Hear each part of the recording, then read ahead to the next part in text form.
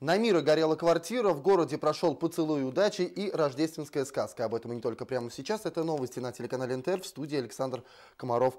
Здравствуйте.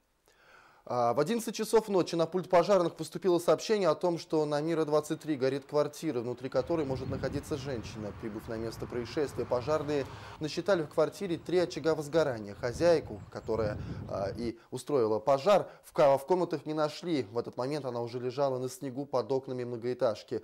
Было ли это случайное падение или женщина 70 72-летняя женщина выпрыгнула из окна э, шестого этажа, намеренно выяснит следствие. Э, сейчас с ожогами лица, кистей рук и переломами она находится в реанимации. От круга до Абы в городе прошел очередной концерт шансон-проекта «Поцелуй удачи».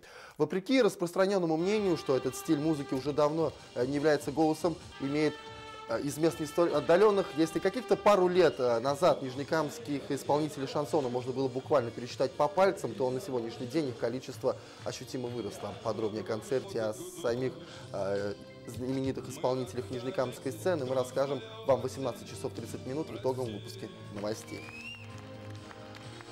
Праздник под названием «Радуемся Рождеству» прошел в Доме культуры поселка Красный Ключ. Его подготовили воспитанники э, в воскресные школы. Программа прошла на ура. Праздники у нас продолжаются. Сегодня мы на Святом Ключе, Красном Ключе празднуем этот праздник вместе с детьми. И все вместе желаю вам всего доброго, вам и вашим семьям, вашим близким, чтобы всегда любовь, взаимопонимание царили в вашем доме.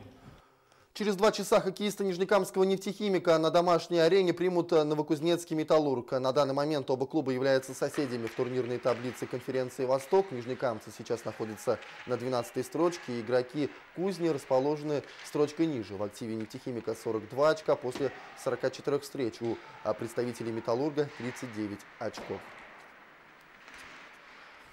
18 часов 30 минут. В эфир выйдет итоговый выпуск новостей. И вот одна из его главных тем.